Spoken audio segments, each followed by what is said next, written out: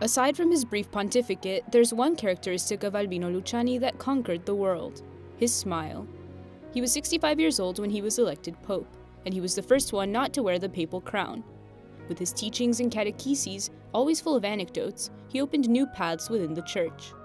Io risposi, sarà, ma trovo strano che mi possa guidare chi non ci vede. La cieca allora mi pigliò la mano e sospirò, cammina. Era la fede.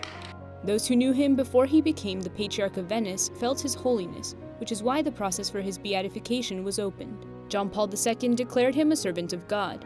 In 2017, Pope Francis officially recognized that he lived out the Christian virtues in a heroic way. This year, he established a Vatican Foundation to study his life, message, and works. The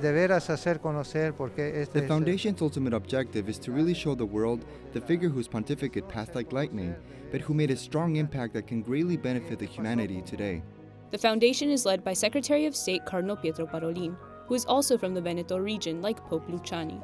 He says one of the institution's first tasks is an arduous one, but that it will make the last Italian Pope's life more well known. That task is preparing the publication of his complete works.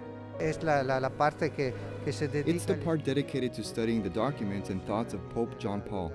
We're off to a good start. This is a good sign to keep moving forward. John Paul I used wisdom and creativity to communicate the faith. His life was also marked by gratitude. He even chose to combine into one the names of his two predecessors, who influenced his life and energized his brief 33 day pontificate.